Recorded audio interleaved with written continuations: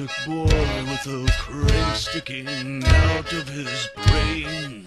He never performed with sadness or joy, he was just simply programmed the same.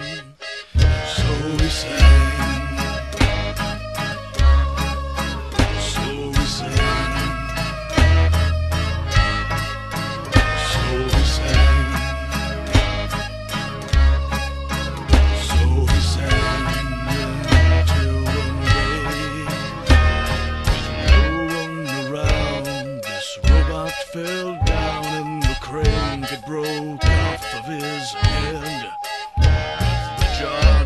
his hard drive. He felt all alive, the old robot.